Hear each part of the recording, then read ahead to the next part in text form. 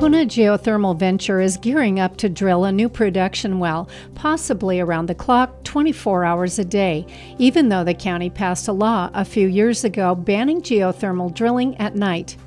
On Wednesday, two resolutions were heard at the Hawaii County Council, taking Puna Geothermal Venture to task for their interpretation of the law. I'm looking for solutions, and I'm looking to move forward. Resolution 58 15, requesting the geothermal company located in Pohoiki to comply with the 2012 ordinance and restrict their drilling operations at production well KS 16 to the hours of 7 a.m. to 7 p.m.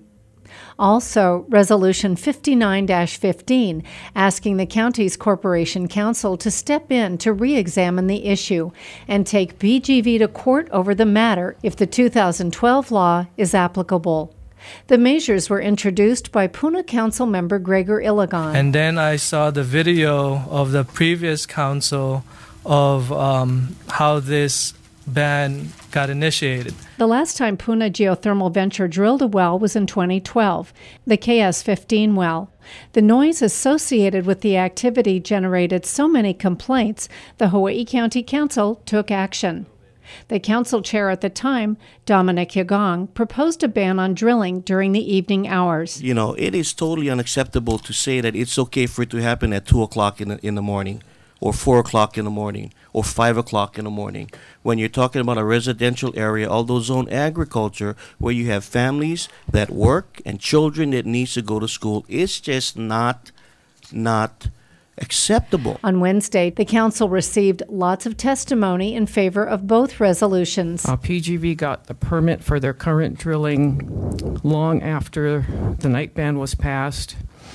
Um, according to PGV's mining lease, they are subject to municipal requirements even if they change. That's the Geothermal Mining Resources Lease R2, February 20, 1981.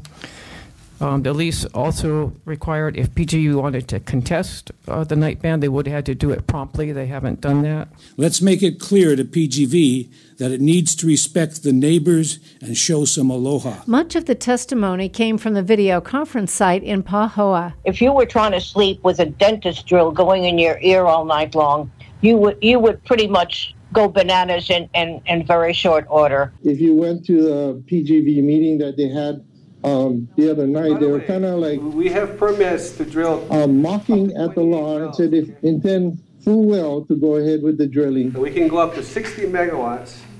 And so we're here for the long haul. This is the issue of law. Former Mayor Harry Kim also testified in Hilo. This is an issue of promises made by past legislatures and present legislatures on what government will do to ensure that geothermal done will be done right without sacrificing people, land, and environment. I ask, I beg, and I urge you to understand why the frustration. I do not understand what this resolution about. You passed the law It was adopted in 2012 uh, after some 10 wells had already been drilled. Why did that happen? It was done in the political context of an election year. Representatives for Puna Geothermal Venture testified in defense of their position. We pointed out the ordinance is legally flawed, overbroad, and preempted by state law. the loss of continuity in the drilling process, not knowing what's going on at night during the 12 hours that, that a d- drilling developer would have to uh, come out if you have to follow this ordinance, is uh, potential for having an uncontrolled event. So, to move things forward, I'm going to withdraw this. Councilman Ilagan withdrew his first resolution, the measure asking PGV to comply with the nighttime drilling ban. Can address the executive session. The second resolution went into executive session. And we need to come to some kind of understanding here. When the elected officials reopened the meeting to the public, a number of them said they preferred to go another route. None of us are saying, let's pull back and not do anything. We, every one of us are, something has to be done. can compromise on the issues. I will not compromise on my values. I'm not going to vote on this just because I want to make somebody feel good and then throw it over to Corp Counsel and say, hey, Now you guys got to deal with the public, not me, because I voted for it. When I know what the legal implications and what we discussed in executive session is, This is not a feel good thing. I took action, I showed direction, and I'm requesting. I'm not forcing. It's up to Corporation Counsel, it's up to the courts. Puna's two council members stood firmly in support of the resolution. The, the hard part I have here is I support geothermal. but the but the law is the law. You know, it's clear. The ordinance is very clear. Hilo council member Aaron Chung also backed Ilagan's proposal. But I'm going to back up my, my, my colleagues from, from Puna. The planning department, through its planning director, has affirmed that that ordinance does not cover PGV's operations.